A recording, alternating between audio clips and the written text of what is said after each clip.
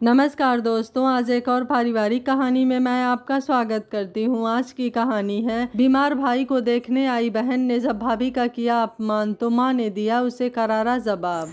मानसी की आँख खुलते ही नज़र सीधे घड़ी पर गई। ओ आज फिर लेट हो गई मैं। उसने जल्दी से उठकर बालों का जूड़ा बनाया और बेड पर सोते हुए अपने छः महीने के बेटे वंश को देखा और जल्दी से कमरे से निकलकर किचन में आई तो देखा उसकी सास सुनंदा जी चाय छान रही थी। उसे थोड़ी शर्मिंदगी महसूस हुई। मम्मी जी, वंश ने पूरी रात परेशान किया, इसलिए मैं पूरी रात सो नहीं सकी। इसलिए आँख लेट खुली है। लाइए, अब मैं कर देती हूँ। सुनंदा जी तेज नज़रों से देखते हुए चाय और नाश्ता ले जाकर अनिकेत और उसके पिता रमाशंकर जी के आगे रख दिया। तब मानसी अनिकेत से बोली, अनिकेत, मैं आपके लिए जल्दी से लंच तैयार कर देती हूँ। अनिकेत ने कहा, तुम रहने दो, मैं लेट हो जाऊँगा। कोई बात नहीं, आज मैं वहीं कैंटीन से लेकर खा लूँगा। अनिकेत नाश्ता करके ऑफ़िस के लिए चला गया। उसके जाते ही सुनंदा जी ने बड़बड़ाना शुरू कर दिया। आजकल की बहुओं को तो बस बच्चों का बहाना चाहिए। अरे, बच्चे तो हमने भी पाले हैं, लेकिन हमारी आँख तो कभी लेट नहीं खुली। भोर होने से पहले ही उठकर स्नान करके, पूजा पाठ करके ही किचन का रुख करते थे। लेकिन आजकल की लड़कियों को तो बहाने बनाने से फुर्सत नहीं है। उनको बड़बड़ाते हुए देखकर मानसी की आँखों में आँसू आ गए। वंश के पेट में शायद दर्द था, जिसकी वजह से वह पूरी रात रोता रहा। उसने उसे दवा भी दी, लेकिन आराम नहीं हुआ। अनिकेत भी परेशान होकर अपना तकिया लेकर दूसरे कमरे में चला गया, क्योंकि उसे सुबह को ऑफ़िस जाना था। लेकिन वह तो कहीं जा नहीं सकती थी, क्योंकि वह तो एक माँ थी। माँ जो अपने बच्चे के दुख में दुखी हो जाती है। वंश को सुबह के टाइम कुछ आराम हुआ, तब वह सोया और उसके साथ ही वह भी सो गई। सुबह को सोने की वजह से उसकी आँख लेट खुली और उसका लेट उठना ही उसके लिए मुसीबत बन गया। अब उसे पता था कि सुनंदा जी सारे दिन ऐसे ही बात बात पर उसे ताने देती रहेंगी। सुनंदा जी शाम तक उसे बात बात पर टोकती और ताने देती रहती हैं। रात को जब अनिकेत कमरे में सोने के लिए आता है, तब मानसी करवट बदल कर लेट जाती है। अनिकेत जैसे ही उसे अपनी तरफ़ पलटता है, उसकी आँखों में आँसू देखकर उससे पूछता है, क्या हुआ? तुम रो क्यों रही हो? आज फिर मम्मी ने कुछ कहा क्या?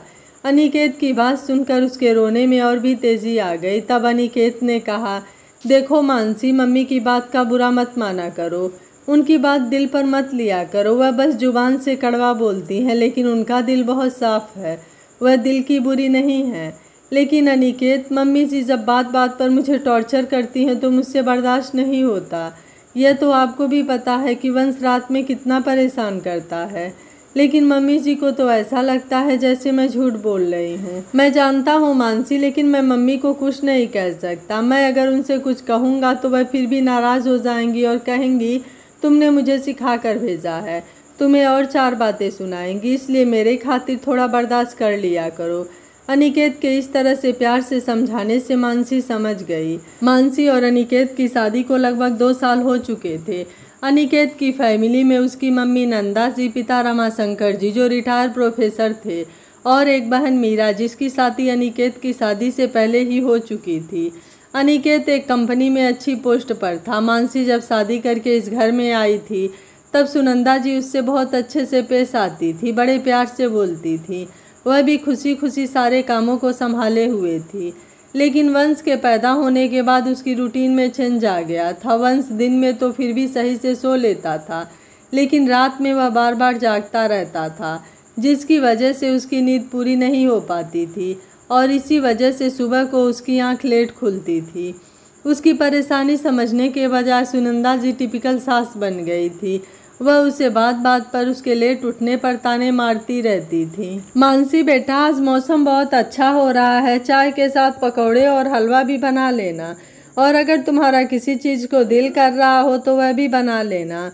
लाओ, वंश को मुझे दे दो। जब तक तुम काम करोगी, मैं इसे खिला लूँगा। रमाशंकर जी ने मानसी से वंश को लेते हुए कहा, शाम का वक्त हो रहा था और रमाशंकर जी बाहर से अभी घूम कर आए थे। ठीक है, पापा जी, मैं अभी बना रही हूँ। मानसी ने मुस्कुरा कर कहा और किचन में जाकर सूजी भूनने लगी। मानसी, बेटा, तुम्हारी मम्मी कहाँ है? रमाशंकर जी ने सुनंदा जी को घर में ना देखकर मानसी से पूछा। पापा जी, मम्मी जी पड़ोस में गई हुई हैं। थोड़ी देर बाद ही सुनंदा जी घर में आई तो देखा, रमा शंकर जी तो पोते को खिला रहे हैं और घर में सूजी के भुनने की खुशबू घर में फैल रही है। यह देखकर वह ज़ोर ज़ोर से बड़बड़ाने लगी और कहने लगी, भाई, आजकल की बहुओं को तो अपनी मर्ज़ी ही करनी होती है। मजाल है जो सास से पूछकर कोई काम कर ले। आजकल की बहू के तो मज़े हैं, बच्चों को तो सास ससुर खिला लेते हैं और वह अपने लिए कुछ भी बनाए और कुछ भी खाए। एक हम थे, मजाल है जो अपनी मर्ज़ी से कुछ बनाकर खा ले। और तो और अपने बच्चों को भी हमें ही संभालना होता था। सुनंदा जी के ताने सुनकर मानसी का मन हुआ कि वह जाकर अभी कह दे कि वह अपने मन से कुछ नहीं कर रही है। पापा जी के कहने पर वह यह सारे पकवान बना रही है। वह तो अभी सोच ही रही थी कि तभी पापा जी की आवाज़ आई।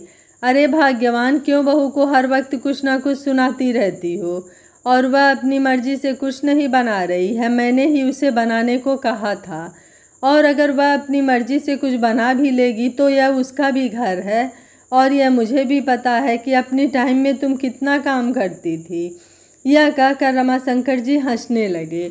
तो सुनंदा जी ने उन्हें घूर कर देखा तो वह मुस्कुरा कर रह गए। मानसी का जो अभी गुस्सा आ रहा था, वह सास ससुर की मीठी नोक झोंक सुनकर खत्म हो गया था। तब तक वह पकौड़े, हलवा और मठरी, चाय वगैरह के साथ उन दोनों को दे आई। मानसी को जहाँ सास के तानों से दुख होता था, वहीं ससुर और अनिकेत को अपना पक्ष लेते देखकर सुकून भी महसूस होता था। मानसी, अनिकेत को फ़ोन करके कह दो कि वह आते वक्त मेरी दवाई लेते आएगा। सुनंदा जी ने मानसी से कहा। उसकी बात सुनकर मानसी बोली, मम्मी जी, मैंने पहले ही फ़ोन कर दिया था। वह कह रहे थे कि दवाई लेते आ जाएँगे। और मानसी यह कहकर रात के खाने की तैयारी करने किचन में चली गई। सुनंदा जी वंश को खिला रही थी और रमाशंकर जी बाहर गए थे। तभी सुनंदा जी को फ़ोन बजा। उन्होंने फ़ोन उठाया, दूसरी तरफ़ से कोई अनजान व्यक्ति था। वह बोला, क्या आप अनिकेत के घर से बोल रही हैं? हाँ मैं सुनंदा, अनिकेत की मम्मी बोल रही हूँ। आपके बेटे का एक्सीडेंट हो गया है और मैंने उसे अस्पताल में भर्ती कराया है। उसकी बात सुनकर सुनंदा जी को सदमा लगा और वह जैसी थी वैसी ही बैठी रह गई। तभी मानसी वहाँ आई और बोली मम्मी जी किसका फ़ोन था? लेकिन सुनंदा जी ने कोई जवाब नहीं दिया। उन्हें इस तरह फ़ोन कान से लगाए देखकर मानसी को किसी अनहोनी का एहसास हुआ। तभी उसने सुनंदा जी से फ़ोन लेकर कान से लगाया तो दूसरी तरफ़ से कोई अभी भी हेलो हेलो कर रहा था। मानसी बोली, जी कहिए, क्या बात है? मैं ये कह रहा था कि आप अनिकेत के घर से बोल रही हैं। जी हाँ मैं उनकी पत्नी हूँ। तब उसने बताया कि अनिकेत हॉस्पिटल में भर्ती है, आप वहाँ आ जाइए। और उसने अस्पताल का पता बता दिया। लेकिन यह सुनकर मानसी की भी हालत ख़राब हो गई और फ़ोन उसके हाथ से छूटकर गिर गया। वह रोने लगी। रोने की आवाज़ सुनकर पड़ोस वाली करुड़ा ताई वहाँ आई और मानसी से पूछा कि क्या बात है? तब मानसी ने रोते हुए बड़ी मुश्किल से सारी बात उन्हें बताई और फिर से रोने लगी। तभी करुणा जी अपने बेटे को बुला कर लाई और उनका बेटा रमाशंकर जी को भी बुला लाया और वह सब अस्पताल के लिए रवाना हो गए। वंश को तरुणा ताई ने अपने पास ही रख लिया था। वहाँ जाकर देखा तो अनिकेत की हालत बहुत ज़्यादा सीरियस थी, वह तो अच्छा था। जिस अजनबी ने उन्हें फ़ोन किया था, उसने टाइम पर अनिकेत को हॉस्पिटल में एडमिट करा दिया था। डॉक्टर ऑपरेशन थिएटर से बाहर आए तो मानसी दौड़कर वहाँ पहुँची। उनसे अनिकेत के बारे में पूछा। डॉक्टरों ने बताया कि अनिकेत खतरे से बाहर है, लेकिन उनकी टांग बुरी तरह से फ्रैक्चर हो गई है। वह कम से कम साल भर तक चल नहीं पाएगा या उससे भी ज़्यादा कुछ कह नहीं सकते। यह सुनकर मानसी की रही सही हिम्मत भी खत्म हो गई, लेकिन फिर उसने अपने सास ससुर की तरफ़ देखा और खुद को संभाला। उनसे बताया कि अनिकेत अब खतरे से बाहर हैं, जैसे ही उन्हें होश आ जाएगा हम उनसे मिल लेंगे। यह सुनकर सुनंदा जी और रमाशंकर जी को कुछ सुकून हुआ। तब उन्होंने कहा कि तुम घर जाओ, वंश को तुम्हारी ज़रूरत है, हम यहाँ हैं। लेकिन मानसी नहीं जाना चाहती थी। लेकिन सबके समझाने पर वह वंश के पास चली गई और उसको दूध पिलाकर, सुलाकर वापस तरुड़ा ताई के पास छोड़ आई। कुछ घंटों के इंतज़ार के बाद अनिकेत को भी होश आ गया था। वह सब अनिकेत से मिलने पहुँचे। मानसी और सुनंदा जी तो अनिकोत को पट्टियों से जकड़ा देखकर ही रोने लगे। तब डॉक्टरों ने उन्हें वहाँ से बाहर भेज दिया। रमाशंकर जी बाहर आए और उन दोनों से कहा तुम दोनों उसके सामने इस तरह रोगी तो उसकी तो हिम्मत ही टूट जाएगी। इसलिए अब जब भी उससे मिलने जाओ तो उसके सामने रोना नहीं। मानसी और सुनंदा जी ने वादा किया कि अब वह नहीं रोएँगी और फिर अनिकेत से वह मिलने चली गई। अनिकेत के एक्सीडेंट की खबर सुनकर सभी रिश्तेदार मिलने आ रहे थे और आठ दिन बाद डॉक्टरों ने अनिकेत को डिस्चार्ज कर दिया। अनिकेत घर आ गया, लेकिन उसे देखने वालों का तांता लगा हुआ था। एक तो अनिकेत के एक्सीडेंट की वजह से लगभग उनकी जो भी जमा पूंजी थी सब खत्म हो गई थी। और अब ऊपर से रिश्तेदारों का आना जाना लगा हुआ था। वह लगभग बिल्कुल खाली हो चुके थे, लेकिन रिश्तेदारों की आओ भगत करनी भी तो ज़रूरी थी। इधर रीमा रोज़ाना कभी अपनी सास, ताई सास, बुआ सास या फिर अपनी देवरानी जेठानी, ननद किसी न किसी को लेकर रोज़ाना ही आ जाती। और रीमा दोपहर शाम का खाना खाए बिना नहीं हिलती थी। उधर जब मानसी के घर वाले भी अनिकेत को देखने के लिए आए, तब मानसी की मम्मी किचन में उसके पास जाकर उससे बोली, मानसी बेटा, यह ले कुछ पैसे हैं। फ़िलहाल तुम्हें ज़रूरत होगी, तुम्हारे काम आएँगे। सुनंदा जी किचन में बंस के लिए दूध लेने आ रही थी। जब उन्होंने मानसी की मम्मी को यह बात कहते हुए सुना, उनके कदम वहीं रुक गए। वह देखना चाहती थी कि मानसी अपनी मम्मी से पैसे लेती भी है या नहीं। तभी उन्हें मानसी की आवाज़ सुनाई दी। मम्मी, यह पैसे आप ही रख लीजिए। आपने हमारी फ़िक्र की, यही बहुत है। लेकिन मैं आपसे यह पैसे नहीं ले सकती। मानसी, कैसी बच्चों जैसी बात कर रही हो? तुम्हारे बच्चे का साथ है, कुछ ना कुछ चीज़ की ज़रूरत पड़ती ही है। तुम यह पैसे अपने पास रखो। उनकी बात सुनकर मानसी बोली, मम्मी, यह हमारा पूरा परिवार एक है। इसमें तेरा, मेरा जैसी कोई चीज़ नहीं। जो भी है, जितना भी है, सबका है। आप फ़िक्र मत कीजिए। हम कैसे ना कैसे मैनेज कर लेंगे? यह कहकर मानसी ने वह पैसे अपनी मम्मी को वापस दे दिए? मानसी की बात सुनकर सुनंदा जी को मानसी की बात बहुत अच्छी लगी और वह वापस चली गई। तब जाते हुए मानसी की मम्मी ने वही पैसे सुनंदा जी के हाथ पर रखे। बहन जी, आपको ज़रूरत होगी, यह समय ऐसा ही है, रख लीजिए। तब सुनंदा जी ने वह पैसे उन्हें वापस करते हुए कहा कैसी बात कर रही हैं आप? अगर हमें ज़रूरत होगी, तब हम आपसे खुद कह देंगे। लेकिन अभी मैं यह पैसे नहीं रख सकती। तब मानसी के मम्मी ने वह पैसे मन मार कर वापस ले लिए, लेकिन उन्होंने कुछ पैसे चलते टाइम बंस के हाथ पर ज़रूर रख दिए थे। तब सुनंदा जी या मानसी मना नहीं कर पाए खुददारी के चलते उन्होंने समझन जी को तो मना कर दिया था, लेकिन अब यह बहुत बड़ा मसला था कि आगे का खर्च कैसे किया जाए। क्योंकि बैंक में जितने भी पैसे थे, सब खर्च हो चुके थे। अब थोड़े बहुत ही पैसे बचे थे। उनमें अनिकेत की दवाइयाँ, उसको खिलाने के लिए फल फ्रूट वगैरह चाहिए थे। इन सबको देखते हुए रमाशंकर जी भी इधर उधर काम के लिए हाथ पैर मार रहे थे। जहाँ वह पहले पढ़ाया करते थे, उन्होंने वहाँ भी पूछा, लेकिन हर जगह से मना हो गई। अब तो घर का राशन वगैरह सब खत्म होने को आया था। रीमा अपने ससुराल के किसी दूर की रिश्तेदार को लेकर आ गई थी और अपने मम्मी से बोली, मम्मी देखिए ना, मेरा तो भैया को देखे बिना मन ही नहीं लगता। इसलिए जो कहीं कोई भी भाई को देखने को कहता, मैं उसे लेकर आ जाती हूँ। उसकी बात सुनकर सुनंदा जी का मन हुआ कि कह दें, रीमा, अब बस तुम अपने घर रहो, यहाँ आने की कोई ज़रूरत नहीं। फ़ोन पर ही हाल चाल पूछ लिया करो। लेकिन यह सिर्फ़ अपने मन में सोच कर रह गई। बेटी से कह नहीं पाई कि कहीं बेटी बुरा न मान जाए। मानसी, रीमा और उसके ससुराल वालों को नाश्ता वगैरह करवा कर उनके लिए खाने की तैयारी करने लगी। घर में जितना भी सामान था, उसी हिसाब से उसने खाना तैयार कर दिया और सबके आगे परोस दिया। रीमा ने सुनंदा जी से कहा, मम्मी जी, आप भी मेहमानों के साथ खाना खा लीजिए। लेकिन सुनंदा जी पानी का बहाना करके किचन की तरफ़ आई। तो देखा मानसी खाली पतीले से रोटी से पोच कर खा रही थी। यह देखकर उनकी आँखों से आँसू आ गए और उन्हें खांसी सी लगी। तो उनकी आवाज़ सुनकर मानसी उनकी तरफ़ पलटी और बोली, मम्मी, कुछ चाहिए था क्या? तब सुनंदा जी ने कहा हाँ वह पानी लेने आई हैं और पानी लेकर मेहमानों के पास पहुँच गई। सबके कहने पर भी एक निवाला भी उनके मुँह में नहीं चला। वह बहाना करके उठ गई कि उनका पेट खराब है। इन हालातों को देखते हुए आज मानसी को अपनी गलती का एहसास हो रहा था। वह सोच रही थी, हमारे माँ बाप हमें इतना किस लिए पढ़ाते हैं? घर में बैठने के लिए उसने कितने सारे कोर्स किए हुए थे और शादी से पहले भी वह स्कूल में टीचर की जॉब कर रही थी। शादी होने के बाद वह अनिकेत और घर वालों के प्यार के आगे वह अपने इस सपने को तो भूल ही गई थी। उसका सपना था कि वह अपना बुटीक खोले। लेकिन अब तो यह मुमकिन नहीं था, लेकिन फिर भी कुछ ना कुछ तो करना ही था। उसने सोचा क्यों ना वह फिर से अपनी टीचर वाली जॉब पर चली जाए, और उसने अनिकेत से इस बारे में पूछा। अनिकेत उसकी बात सुनकर कुछ मायूस सा हो गया और कहने लगा, अगर मेरी ऐसी हालत ना होती तो तुम्हें नौकरी करने का सोचना भी नहीं पड़ता। तब मानसी ने बड़े प्यार से अनिकेत का हाथ पकड़ कर कहा ऐसा कुछ नहीं है अनिकेत, तुम ऐसा क्यों सोच रहे हो? बल्कि मेरी गलती है कि मैंने पहले क्यों नहीं नौकरी करने के बारे में सोचा।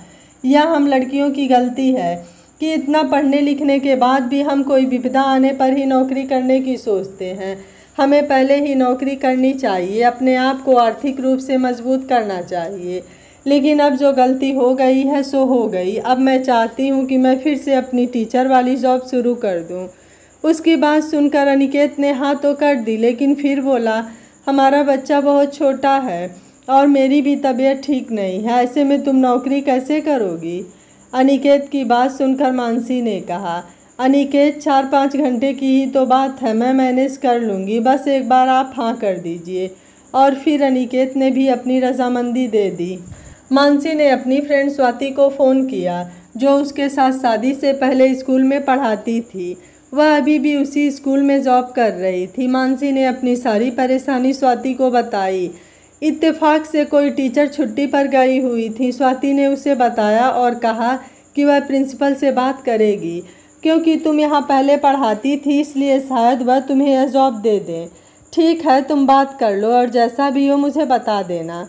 अगर वह हाँ करती है तो कल मैं उनसे बात करने के लिए आऊँगी। यह कहकर मानसी ने फ़ोन रख दिया। मानसी सोचने लगी, पता नहीं यहाँ जॉब मिलेगी भी उसे या नहीं। उसे कहीं और भी ट्राई करना चाहिए। फिर उसने सोचा, नहीं, पहले यहाँ से जबान मिल जाए, तब कहीं और ट्राई करेगी। अब साल के बीच में कोई रखे या नहीं, कुछ कह नहीं सकते।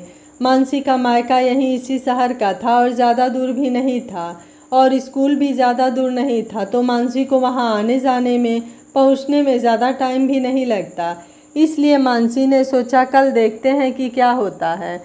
शाम होते ही स्वाति का फ़ोन आ गया और उसने बताया कि कल प्रिंसिपल ने तुम्हें मिलने के लिए बुलाया है।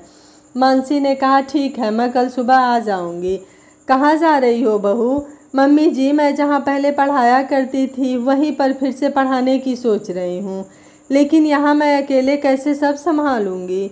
मम्मी जी, आप तो जानती ही हैं, इस वक्त पैसों की कितनी तंगी है। और कहीं से कोई पैसों का इंतज़ाम नहीं हो रहा, इसलिए मेरा यह करना बहुत ज़रूरी है। और रही बात काम की, मैं सुबह को सारे काम करके चली जाया करूँगी। बस आप अनिकेत को टाइम पर दवा दे दीजिएगा और वंश का ध्यान रख लीजिएगा। दोपहर को आकर मैं खाना बना लूँगी।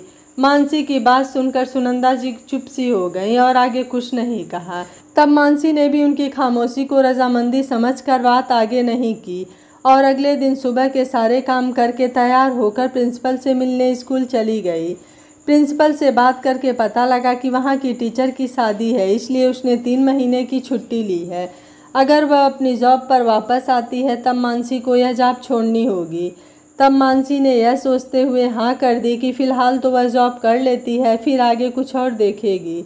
प्रिंसिपल ने कहा, चाहे तो वह आज से ही ज्वाइन कर सकती है. इस तरह मानसी ने वहाँ ज्वाइन कर लिया। वह सुबह सारे काम करके अनिकेत को नाश्ता कराकर सुबह की दवाइयाँ देकर और वंश को फीडिंग कराकर स्कूल चली जाती और दोपहर से बाद में आकर खाना बनाना, अनिकेत की दवाइयाँ देना, उसका ध्यान रखना, सब कुछ करती।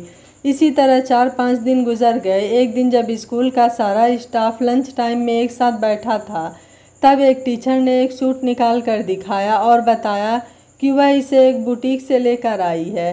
और जब उसने उसकी कीमत बताई तो मानसी देखकर हैरान रह गई, क्योंकि वह सूट उतना ज़्यादा खास नहीं था और कीमत बहुत ज़्यादा थी।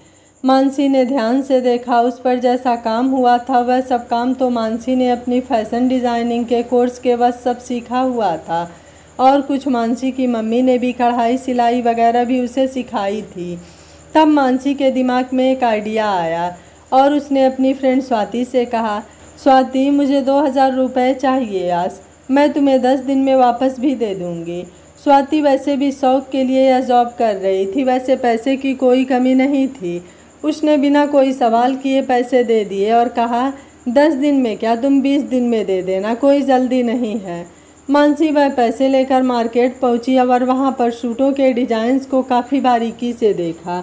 और फिर उसी हिसाब से उसने कुछ धागे, कुछ और सामान और कुछ छापे के लिए कागज़ वगैरह लिए और कपड़ा लेकर घर आ गई। वसुंधरा जी ने उसके लेट घर आने पर उससे कुछ नहीं कहा। वह आजकल उसे कुछ नहीं कहती थी, वह बस ज़्यादातर चुपी रहती थी। मानसी ने घर में घुसते ही देखा कि वंश का सिरेलाइक इधर उधर गिरा हुआ है और उसके सॉफ्ट टॉयज़ भी इधर उधर बिखरे पड़े हैं।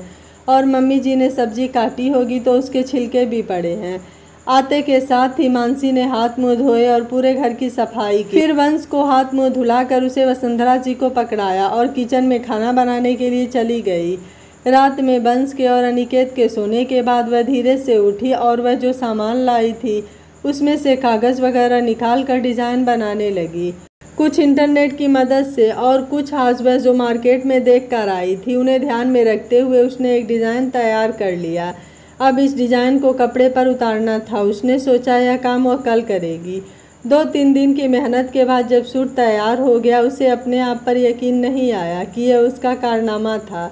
सूट बहुत ही प्यारा लग रहा था। अगले दिन फिर रात को सबके सोने के बाद वह स्टोर रूम में सिलाई मशीन निकाल लाई, जो उसकी मम्मी ने उसके दहेज में दी थी कि कभी न कभी ज़रूरत पड़ ही जाती है और सूट सिलने बैठ गई। खटर पटर की आवाज़ से वसुंधरा जी ने बाहर निकल कर देखा तो वह सूट सिल रही थी, लेकिन उन्होंने फिर भी कुछ नहीं कहा। वह चुपचाप जाकर लेट गई। अगले दिन मानसी तो सारे काम करके स्कूल चली जाती है। इधर सुनंदा जी के पास उनकी पड़ोसन बिमला ताई आती हैं और कहती हैं कि तुम्हारी बहू के बड़े मज़े हैं। बीमार पति से जान छुड़ाकर नौकरी करने चल देती है। बीमार बेटे और पोते को तुम ही सब संभालो। यह कोई तुम्हारी उम्र है काम करने की, तुम्हारी बहू से तो इतना भी नहीं होता कि घर में रहकर अपने पति और अपने बच्चे की और बूढ़े सास ससुर की देखभाल करे। सुनंता जी सुनकर कहती हैं, वह मेरी मर्ज़ी से काम कर रही है और वह घर के सारे काम करके जाती है और आकर फिर से काम करने लग जाती है। इतने थके होने के बावजूद भी घर फैला देखकर या काम करते हुए उसके माथे पर एक भी बल नहीं पड़ता। और तुम मेरी बहू के बारे में ऐसी बातें कैसे बना सकती हो?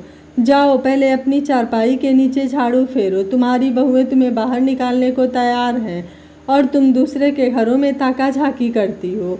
बिमला ताई को सुनंदा जी से ऐसे जवाब की उम्मीद नहीं थी। वह मुँह बनाकर उठ खड़ी होती हैं और बड़बड़ाती हुई चल देती हैं।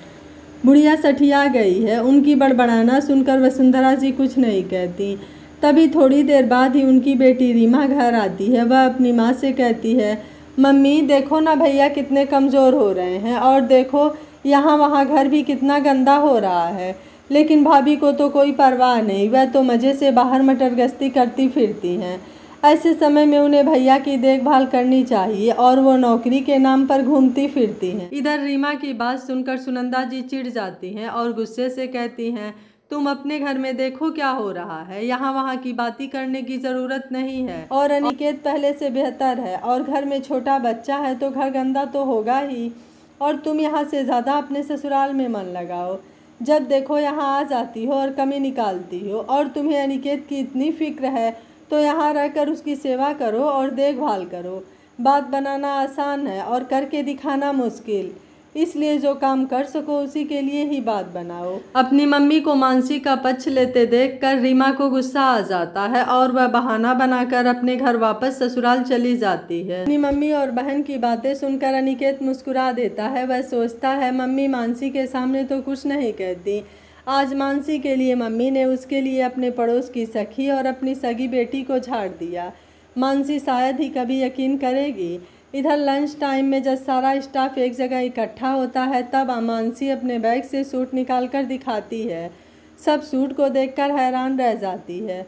सूट वाकई बहुत खूबसूरत लग रहा था। स्वाति एकदम उसको देखकर कहती है, तुम यह सूट कहाँ से लाई हो और कितने का लाई हो?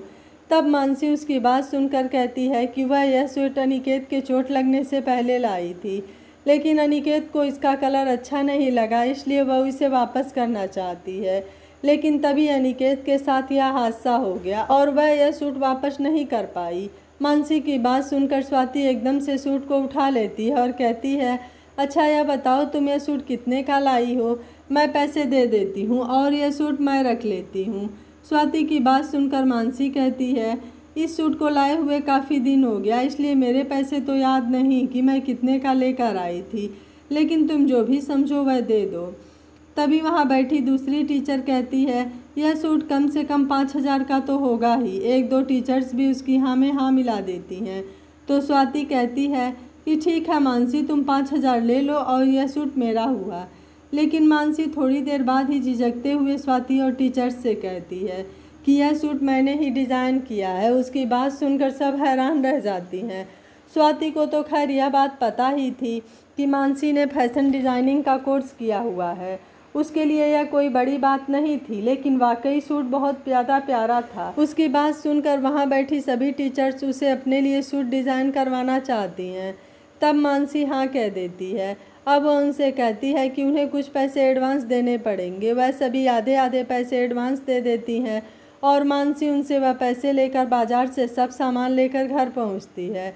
उसे इस तरह सामान के साथ देखकर अनिकेत उससे पूछता है, तुम यह सब कहाँ से उठा लाई? तब मानसी उसे सारी बात बता देती है। उसकी बात सुनकर अनिकेत कहता है, तुम स्कूल में तो जॉब कर ही रही हो, अब यह सब करके तुम अपने ऊपर जाती कर रही हो। अनिकेत की बात सुनकर मानसी ने कहा, अनिकेत, यह टाइम ऐसा होता है कि हमें इसमें जितना ज़्यादा हो पैसे चाहिए, और मेरा तो वैसे भी सपना रहा है कि मैं अपना बुटीक खोलूं। अब यह इस तरह से ही पूरा हो रहा है तो ऐसे ही सही। लेकिन मानसी, तुम यह सब अकेली करोगी, वंश को भी देखना होता है और तुम्हें स्कूल में भी टाइम देना होता है, घर के काम भी करने होते हैं, तुम अकेले कैसे करोगी? अनिकेत, मैं सिर्फ़ इन सूटों को डिज़ाइन करूँगी और बाकी करुड़ा ताई की बेटी मंदिरा को अपने साथ लगा लूँगी। वह सिलाई अच्छी करती है, इस तरह से मेरा काम हो जाएगा। लेकिन यार, तुम अपने ऊपर ज़्यादा बोझ मत डालो, अनिकेत बोला। अनिकेत, आप कैसी बात कर रहे हैं? जब आप ठीक हो जाएँगे, तब मैं टीचर वाली जॉब छोड़ दूँगी। तब बस मैं अपना बुटीक का काम संभालूँगी। अनिकेत ने उसे उसके हाल पर छोड़ दिया। वह भी जानता था कि इस टाइम पैसों की बहुत ज़्यादा ज़रूरत है। इसलिए उसने भी कुछ ज़्यादा नहीं बोला। मानसी ने करुड़ा ताई की बेटी को बुलाकर उससे बात तय कर ली कि वह सूट डिज़ाइन करेगी और सिलने के लिए मुझे तुम्हारे साथ की ज़रूरत है। क्या तुम मेरा साथ दोगी? मंदिरा भी खाली ही बैठी थी तो उसने सिलाई करने के लिए हाँ कर दिया। ऐसे ही दो चार दिन बाद जब मानसी को स्कूल की तरफ़ से उसकी सैलरी मिली तो वह खुशी खुशी कुछ सामान लेकर और बाकी बच्चे पैसे ले जाकर उसने सुनंदा जी को दे दिए। तब सुनंदा जी ने कहा, मैं क्या करूँ इन पैसों का बहू? मम्मी जी, शादी से पहले भी मैंने अपनी पहली सैलरी अपनी मम्मी को दी थी और शादी के बाद यहाँ यह मेरी पहली सैलरी है, इसलिए मैं आपको दे रही हूँ। उसकी बात सुनकर सुनंदा जी कुछ नहीं कहती, बस चुप होकर बैठ जाती हैं। तब मानसी वहीं उनके पास पैसे रख कर उठ कर चली जाती है। लेकिन आज उसे बहुत दुख होता है। वह सोचती है कि जब उसने अपनी पहली सैलरी अपनी मम्मी को दी थी, तब मम्मी कितनी खुश हुई थी। और उन्होंने उन पैसों से उसके लिए सोने की बालियाँ बनवाई थी और ढेर सारा आशीर्वाद दिया था। माना कि सासू माँ को उसकी बालियाँ तो नहीं बनानी थी, लेकिन वह उसे आशीर्वाद तो दे ही सकती थी। और यही बात उसने अनिकेत से कही। तब अनिकेत ने उसे दो चार दिन पहले हुआ सारा किस्सा कह सुनाया। जब सुनंदा जी ने अपनी पड़ोसन और अपनी बेटी को उसकी वजह से बहुत कुछ सुनाया था। मानसी को यह सुनकर यकीन तो नहीं हुआ, लेकिन उसने सोचा कि जब अनिकेत कह रहा है तो सच ही होगा। इधर सुनंदा जी पैसे हाथ में उठाती हैं तो उनकी आँखें भीग जाती हैं।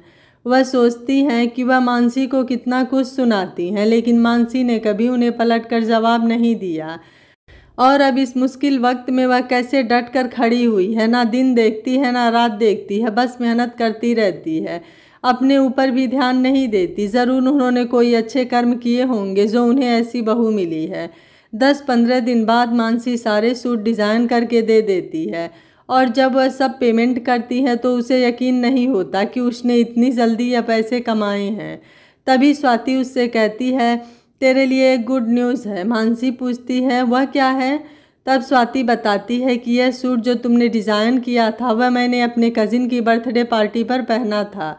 उसने देखा तो उसे भी बहुत पसंद आया और वहाँ पर जो लोग थे सभी लोगों को ये सूट बहुत पसंद आया।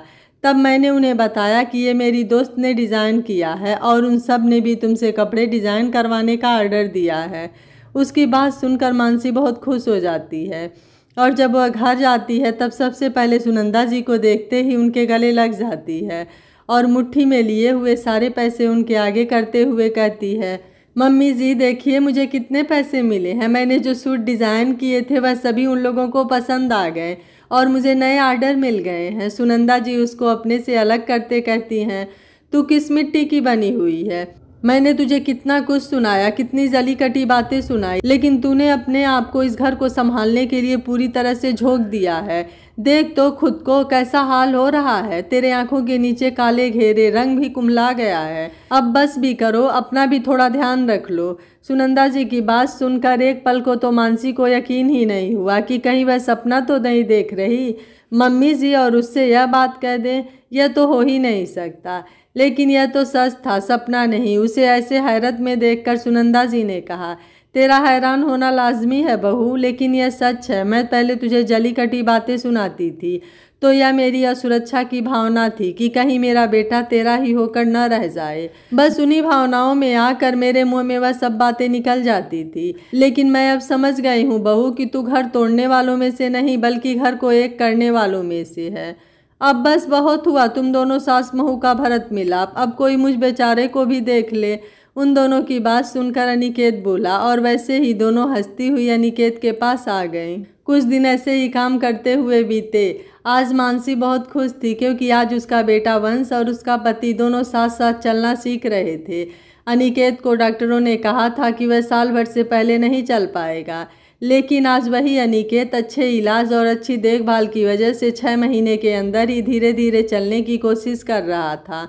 और मानसी का बेटा वंश भी एक साल का हो गया था।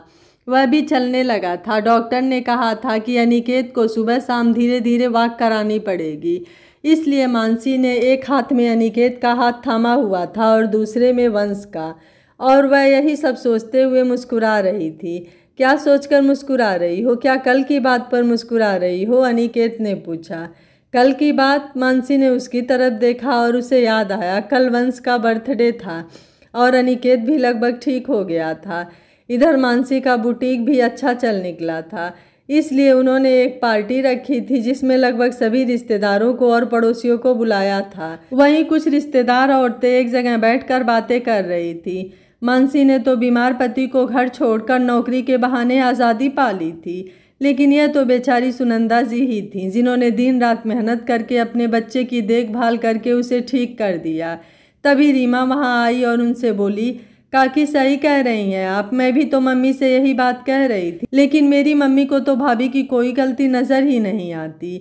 जैसे ही यह सब सारी बातें सुनंदा जी के कानों में पड़ी, वह वहाँ आई और मानसी को वहाँ बुलाया और कहा, यह वही है जिसने मुश्किल समय में हमारा साथ दिया। यह वही है जिसने दिन रात एक कर दिया मेहनत करने में, घर का और बाहर का काम करने में।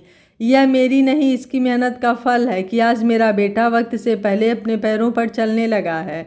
वरना जैसे हालात हमारे थे, ऐसे में तो कोई भी साथ छोड़ देता। लेकिन इसने मेरी अपनी सगी बेटी से भी ज़्यादा मेरे लिए किया है। मैं इसे कितना भी सुना देती थी, लेकिन कभी इसने पलट कर जवाब नहीं दिया। और रीमा, तुम यहाँ लगाई बुझाई कर रही हो। जब तुम्हारे भाई को चोट लगी थी, तुमने एक बार भी यह सोचा कि माँ और भाभी दिन रात मेहमानों के साथ बिज़ी रहती हैं। भाभी की थोड़ी मदद कर दूँ। क्या भैया की थोड़ी सेवा ही कर लूँ? बस तुम्हें तो लगाई बुझाई ही करनी आती है। सुनंदा जी की बातें सुनकर वहाँ बैठी सभी औरतों और रीमा का चेहरा फक पड़ गया। तब मानसी ने कहा, छोड़िए ना मम्मी जी, क्यों टेंशन ले रही है? जहाँ चार औरतें बैठती हैं, कोई ना कोई तो बात करती हैं। जो कोई कुछ कह रहा है कहने दीजिए। लोग तो कुछ भी कहते हैं। आप परेशान मत होइए। मैंने क्या किया और क्या नहीं? यह आप और हमारा परिवार जानता है। मेरे लिए यही बहुत है। मानसी की बात सुनकर रीमा और शर्मिंदा हो गई और उसने मानसी से माफ़ी मांगी।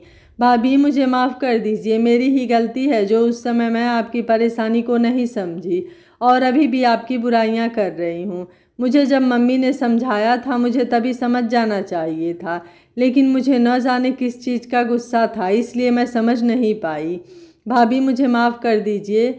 अरे मैडम जी, आप कहाँ खो गई? अनिकेत की आवाज़ से ख्यालों से चौकी। तब अनिकेत ने उसके हाथ अपने हाथों में लेकर कहा, मानसी, तुमने यह साबित कर दिया, जहाँ रिश्तों में प्यार और विश्वास हो, वहाँ रिश्ते और भी ज़्यादा मज़बूत हो जाते हैं। मैं भगवान का बहुत शुक्रगुजार हूँ कि मुझे तुम जैसी पत्नी मिली। यह कहकर दोनों हंसने लगते हैं। यह कहानी आपको कैसी लगी, आप मुझे अपनी राय कमेंट बॉक्स में ज़रूर दीजिएगा। वीडियो पसंद आया है तो वीडियो को लाइक, शेयर एंड चैनल को सब्सक्राइब कर लीजिएगा। Thank you for watching. मिलते हैं अगली कहानी में।